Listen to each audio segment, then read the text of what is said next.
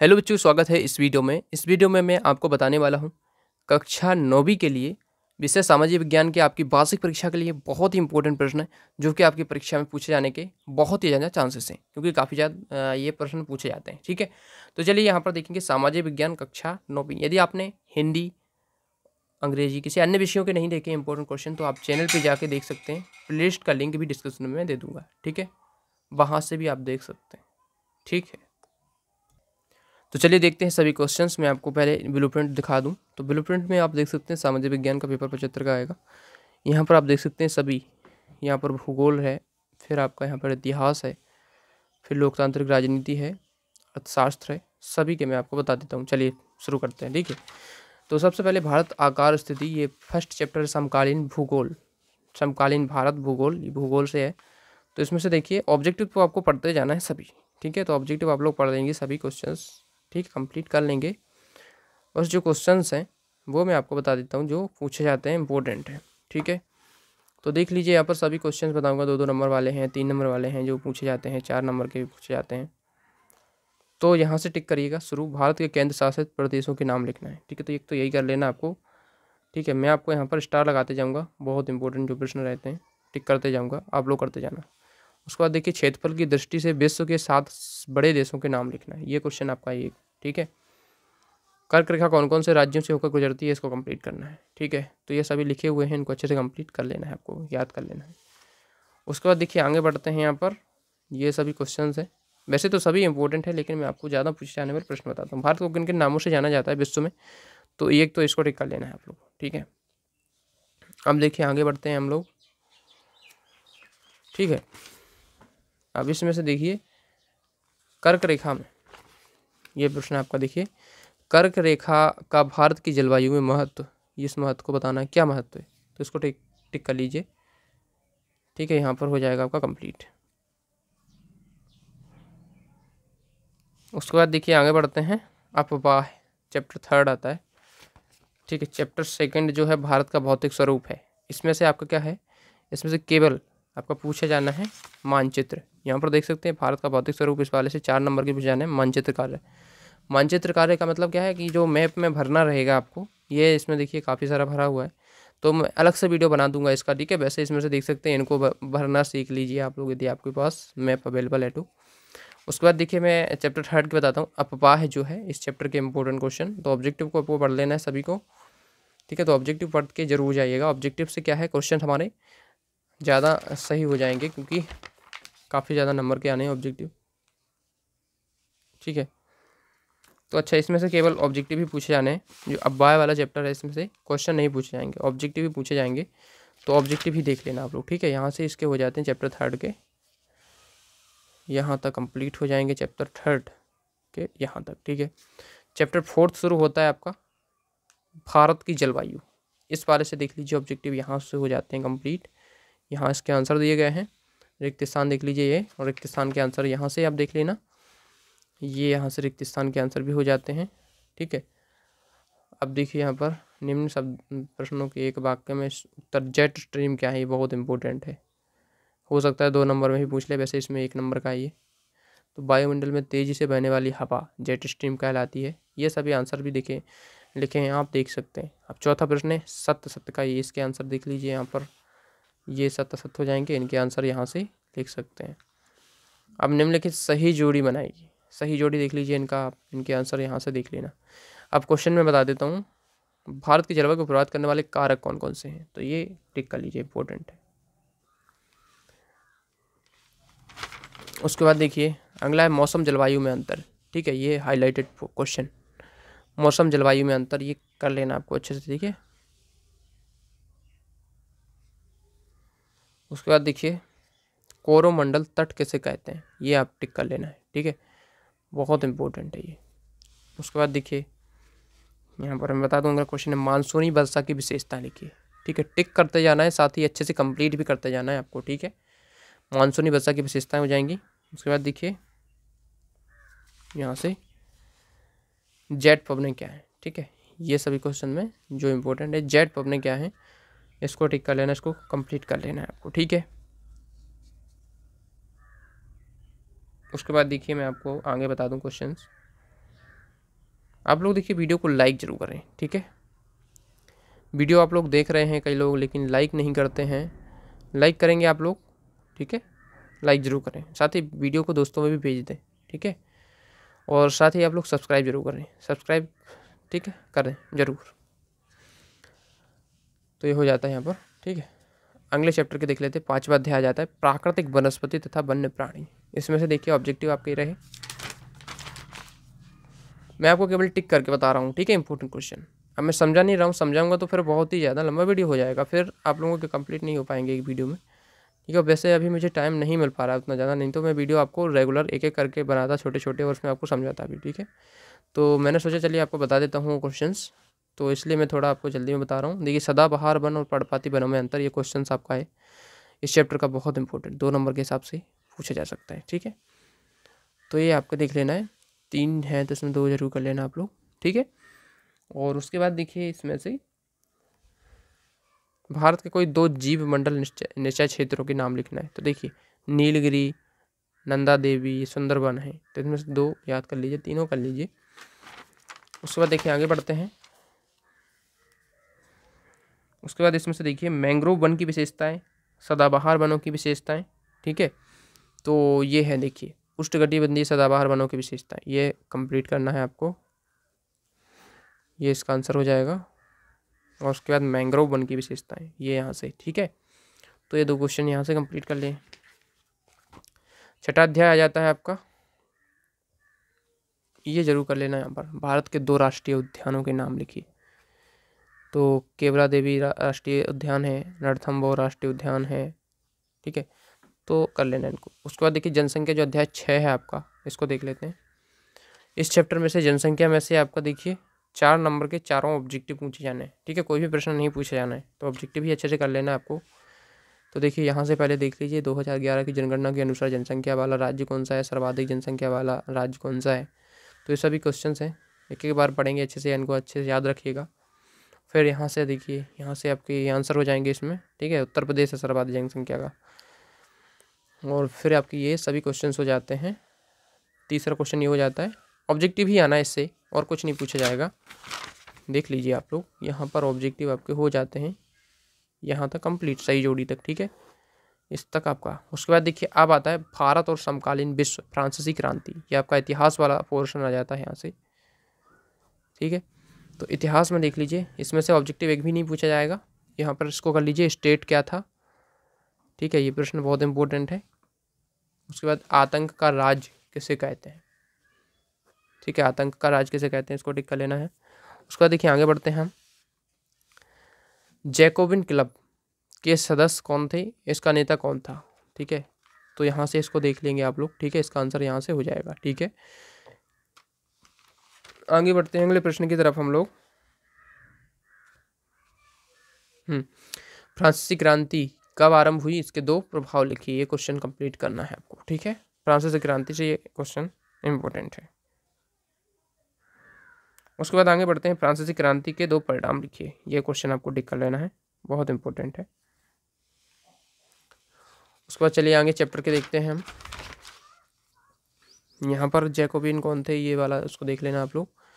उसी चैप्टर के हैं ये। ठीक है? रूसो कौन था? फ्रांस की क्रांति में उसका योगदान। ठीक है? ये रूसो वाला भी करना है आपको। बहुत इंपॉर्टेंट है ये। फिर आगे बढ़ते हैं अगले चैप्टर की ओर। यूरोप में समाजवाद एवं रूसी क्रांति। तो इसमें से देख लीजिए, यूरोप में समाजवाद और रूसी क्रांति से ऑब्जेक्टिव इस प्रकार से हो जाते हैं। इसके आंसर भी यहाँ पर हो जाते हैं। और फिर रिक्त स्थान वगैरह ये हो जाते हैं आपके। ठीक है? तो रिक्त स्थान सत एक शब्द वाक्य में उत्तर, ये सभी क्वेश्चन यहाँ पर हो जाते हैं कंप्लीट चलिए, प्रश्न स्टूडेंट बता देता हूँ. ड्यूमा पर टिप्पणी लिखिए. ड्यूमा पर टिप्पणी टिक कर लीजिए. ड्यूमा पर टिप्पणी लिखना है आपको. ठीक है कालमार्क्स का पूंजीवाद पर विचार. तो वैसे यहाँ पर इसको पहले करना है. ड्यूमा पर टिप्पणी उसके बाद करना है आपको. 1900 से 1930 के बीच रूस में महिला कामगार की स्थिति क्या थी, इसको करना है. उसके बाद को ऑपरेटिव क्या था और खूनी रविवार की घटना तो बहुत इंपॉर्टेंट है ये ठीक है? ये बार बार पूछा जाता है खूनी रविवार की घटना क्या थी? इसको देख लीजिए यहाँ से। पहला विश्व युद्ध कब कब से कब तक लड़ा गया? तो 1914 से 1918 तक लड़ा गया याद रखना इसको आपके ऑब्जेक्टिव में भी पूछ सकती है ठीक है? इंपॉर्टेंट है ये प्रश्न। उसके बाद देखिए मैं आपको बता दूँ आगे। हम्म, तो ये क्वेश्चन है प्रथम विश्व युद्ध का रूस की क्रांति पर क्या प्रभाव पड़ा? इसको देख लेना अच्छे से। हाँ। अब और क्वेश्चन है, रूसी क्रांति के प्रमुख कारणों में से कोई दो कारण लिखिए ये क्वेश्चन ठीक है? तो इतने प्रश्न आपको करके जाना है, ज़रूर। इसके दो कारण यहाँ पर हो जाएँगे, ठीक है? अगला चैप्टर आता है नाथसीवाद और हिटलर का उदर, अध्याय तीन है। इसके ऑब्जेक्टिव आप लोग पढ़ लेंगे, ठीक है ना? आप लोग वीडियो को लाइक भी कर देंगे, ठीक है? हाँ। और चैनल की प्ले को विज़िट करते रहिएगा, क्योंकि वहाँ पर जो है वीडियो आपको मिलते जाएँगे सभी, ठीक है? क्योंकि यहाँ पर कुछ लोगों को वीडियो नहीं मिल पाता है तो उसको विज़िट करें, आप प्ले को लिंक डिस्क्रिप्शन में दे दूँगा, ठीक है? यहाँ तक आपके प्रश्न हो जाते हैं, फिर आंसर आप लोग देख लेना। इसमें से काफ़ी ज़्यादा ऑब्जेक्टिव पूछे जाने इस वाले चैप्टर से तो सभी को आप देख लीजिएगा एक बार, ठीक है? यहाँ पर बयालीस तक हो जाते हैं। फिर आंसर आप देख लेना। इसमें से काफ़ी ज़्यादा इसमें दिए गए हैं, ठीक है? तो ये आपके आंसर्स हो जाते हैं यहाँ पर, ठीक है? उनसठ तक के, ठीक है? अब देखिए आपके रिक्त स्थान है।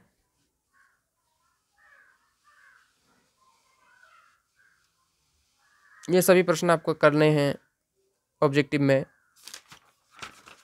इसके ऑब्जेक्टिव काफ़ी ज़्यादा दिए गए इस चैप्टर में। क्योंकि ऑब्जेक्टिव भी पूछे जाने हैं ना, और तो कुछ पूछा नहीं जाएगा इससे तो इसलिए ऑब्जेक्टिव भी दिए हैं। अध्याय चार देखते हैं, वन्य समाज और उपनिवेशवाद। तो इसमें से देखिए, वस्तुनिष्ठ प्रश्नोत्तर आपके यहाँ से होते हैं। ये, और फिर आपके ये वस्तुनिष्ठ प्रश्नोत्तर, इनको अच्छे से आप लोग रीड कर लेना, इसको अच्छे से प्रैक्टिस कर लेना। ठीक है? आप लोग वीडियो को पॉज करके प्रैक्टिस कर सकते हैं। ठीक है, आगे पीछे करके जैसे आंसर देखने तो पीछे कर लीजिए। मतलब आगे कर लीजिए, ऐसे। तो ये प्रश्न यहाँ तक हो जाते हैं। आप देखिए यहाँ पर जो आतो लोग उत्तर प्रश्न है आपके। वन विनाश कैसे कहते हैं? इस पर टिक लीजिए इंपॉर्टेंट है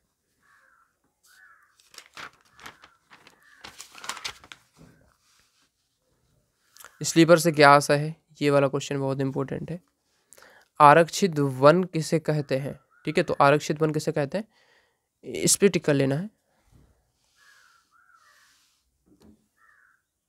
इजारेदारी का क्या आशा है? ये टिक कर लीजिए, इसको कंप्लीट करना है। फिर यहाँ से आता है आपका, वनों की प्रत्यक्ष अप्रत्यक्ष लाभ वाला क्वेश्चन लिखे है इसमें। टोंगिया खेती क्या है? पहले इसको भी देख लीजिए, इस पर टिक कर लीजिए। ठीक है? सभी के आंसर लिखे हुए हैं, आप लोगों को पढ़ना है बस, ठीक है? देखिए, वनों से होने वाले प्रत्यक्ष लाभ, ये वाला क्वेश्चन है आपका ये। इसको कंप्लीट करना है। उसके बाद देखिए, आगे देखते हैं हम, आधुनिक विश्व में चरवाहे। ये क्वेश्चन देखिए, इसके देख लेते हैं हम।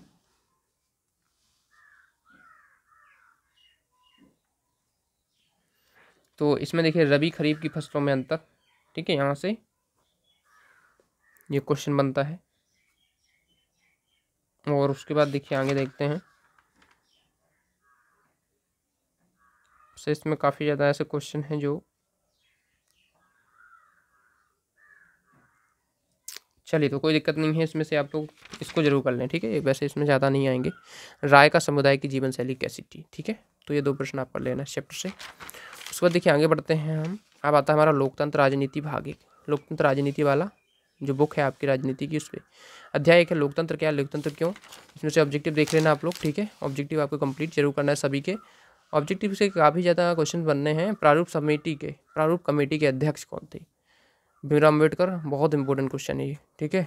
लोकतंत्र जनता का जनता का, जनता के लिए, जनता के द्वारा शासन है। अब्राहम लिंकन ने कहा था, ठीक है? ऐसे क्वेश्चन से आपको कंप्लीट ज़रूर करना है।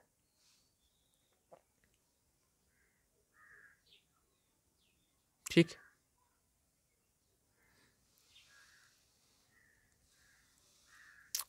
तो इससे यहाँ पर हो जाते हैं, बस मैं आपको क्वेश्चंस बता देता हूँ। यहाँ से देखिए, लोकतंत्र क्या है? एक तो आपको यही टिक करना है।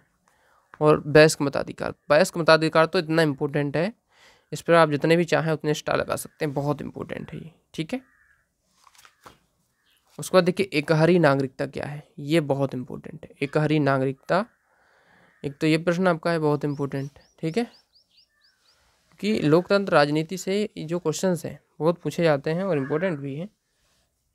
ठीक है, लोकतंत्र क्यों आवश्यक है? एक तो ये प्रश्न है। डेमोक्रेसी का अर्थ क्या है? ठीक है? यहाँ तक हो जाता है। चलिए बढ़ते हैं अगले चैप्टर की ओर। संविधान निर्माण, अगला चैप्टर आता है संविधान निर्माण। इससे देख लीजिए आपके संविधान सभा के अध्यक्ष थे। तो राजेंद्र प्रसाद ठीक है तो ये आपको देख लेना है सभी क्वेश्चंस खालिस्तान वगैरह सब कंप्लीट करके जाएँगे। संविधान क्या है? ये क्वेश्चन ये बनता है आपका, संविधान क्या है? तो इसको टिक कर लीजिए इम्पोर्टेंट है। ठीक है? संविधान की चार विशेषताएँ लिखिए। चार नंबर के प्रश्न आएँगे तो संविधान की चार विशेषताएँ ऐसे पूछेगा। ठीक है तो प्रभुत्व संपन्न है, समाजवादी है, धर्म धर्म निरपेक्ष है। न्याय से क्या आशा है? नीति निर्देशक तत्व क्या है? ये आपका दो नंबर में आ सकता है, ठीक है? वैसे इससे कौन से नंबर के प्रश्न पूछे जाने हैं? संविधान निर्माण से दो या दो का पूछे जाना है तो दो नंबर में आ सकता है नीति निर्देशक तत्व क्या होते हैं, ठीक है? तो इसमें देख लीजिए। मौलिक कर्तव्य, मौलिक अधिकार क्या है? एक तो ये क्वेश्चन कर लेना। देखिए, ज़रूरी नहीं है कि इसी से आप पढ़ें। आपके पास जो भी गाइड है, जिससे आप पढ़ सकते हैं क्वेश्चंस को पर मैच कर लेना। ठीक है क्वेश्चन को मैच करके बस आपको उसमें से देख लेना है आंसर ठीक है? चलिए बढ़ते हैं अगले प्रश्न की तरफ़। चुनावी राजनीति ऐसे। चुनावी राजनीति से भी देख लीजिए, प्रश्न है आपके यहाँ से ऑब्जेक्टिव पाँच हो जाते हैं। फिर आपके यहाँ से ऑब्जेक्टिव हो जाते हैं, इनको अच्छे से देख लेना आप लोग। ठीक तो चलिए यहाँ पर आपके ये ऑब्जेक्टिव क्वेश्चन हो जाते हैं। जो यहाँ से कंप्लीट कर लेंगे आप लोग। चलिए। चौथा दिया है संस्थाओं का कामकाज। इसमें से ऑब्जेक्टिव नहीं पूछे जाएँगे। गठबंधन सरकार क्या है? ये इम्पोर्टेंट है इसमें। गठबंधन सरकार क्या है? इसको पढ़ लीजिए कंप्लीट कर लीजिए। न्यायपालिका किसे कहते हैं? जिसके टिक पहले से जो लगे हुए हैं, पहले मैं बता चुका हूँ इम्पोर्टेंट इसलिए इसमें लगे हुए हैं। तो ये दोनों प्रश्न कर लेना है आपको।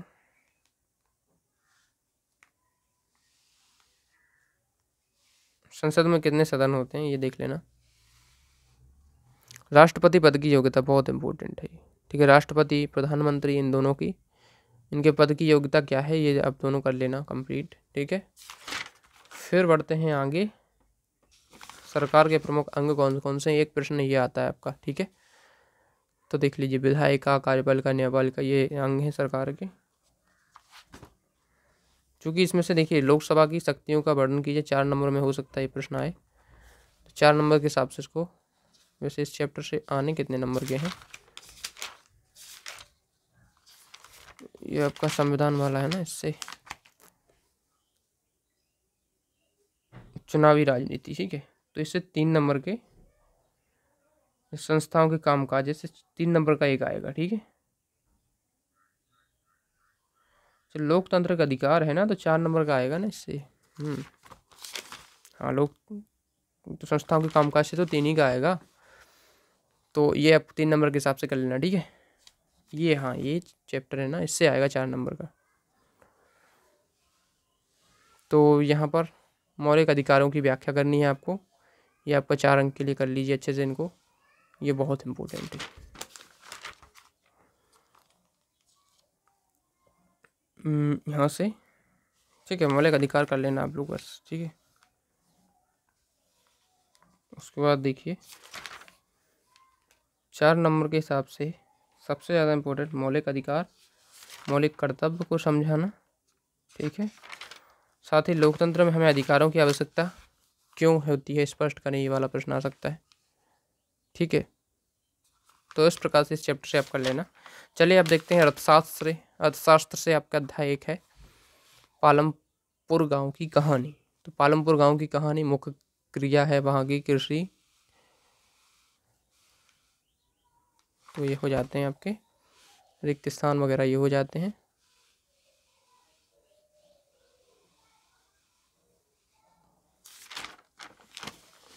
इसमें से ऑब्जेक्टिव भी पूछे जाने हैं, ठीक है? यहाँ से पूरे ऑब्जेक्टिव भी कर लीजिएगा आप कंप्लीट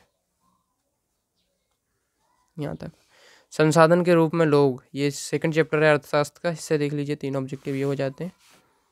ऑब्जेक्टिव मैं इसलिए दिखा रहा हूँ ताकि आप लोग प्रैक्टिस कर सकें, ठीक है? क्योंकि कई लोगों के पास होगा नहीं ना ये प्रश्न बैंक तो कर सकते हैं आप लोग प्रैक्टिस तो यहाँ पर आपका ये हो जाता है। यहाँ तक हो जाता है, ठीक है? अब मैं बता दूँ यहाँ पर प्रश्न है, सर्व शिक्षा अभियान क्या है? टिक कर लीजिए, बहुत इंपॉर्टेंट है ये। दूसरा है, बेरोजगारी क्या है? ठीक है? थ्री स्टार दीजिए इनको। शिक्षित बेरोजगारी क्या है? प्रछन्न बेरोजगारी तो सभी इंपॉर्टेंट है। आर्थिक मृत्यु दर क्या है? मृत्यु दर ये बहुत इंपॉर्टेंट जन्म दर क्या है? ये सभी छोटे छोटे प्रश्न हैं इंपॉर्टेंट हैं। उसके बाद देखिए, आर्थिक और गैर आर्थिक क्रियाओं में अंतर, ठीक है? तो ये आपको कर लेना है, आर्थिक गैर आर्थिक क्रियाओं में अंतर। उसके बाद देखिए, शिक्षित बेरोजगारी को दूर करने के उपाय। तो यहाँ पर शिक्षित बेरोजगारी को दूर करने के उपाय हो जाएँगे, ठीक है? निर्धनता एक चुनौती, इस चैप्टर को भी देख लेना है आपको जल्दी से। तो निर्धनता एक चुनौती, इससे ऑब्जेक्टिव ही आप देख सकते हैं यहाँ पर। और यहाँ से कंप्लीट कर लेंगे सही जोड़ियाँ भी। दीर्घ प्रश्न इस चैप्टर से पूछे जाएँगे चूँकि।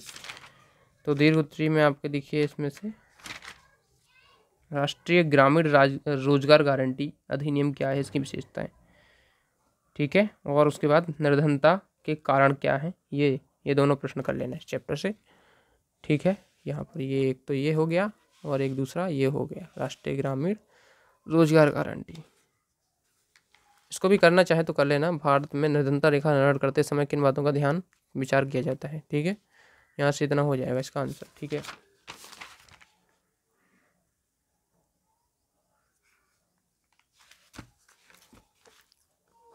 अध्याय चार है जो अर्थशास्त्र का खाद्य सुरक्षा है। तो ऑब्जेक्टिव यहाँ से पढ़ लेंगे। सतह सत्य यहाँ से पढ़ लेंगे रिक्त स्थान कर लेंगे। एक शब्द या आपको उत्तर हो जाएँगे, ठीक है? और बस इसमें से ऑब्जेक्टिव पूछे जाने हैं। प्रश्न इससे पूछे नहीं जाएँगे। तो इस प्रकार से टोटल हमने आपको पूरे क्वेश्चन बता दिए हैं। वीडियो को देखिए लाइक ज़रूर कर दें, ठीक है? चैनल को सब्सक्राइब ज़रूर कर दें।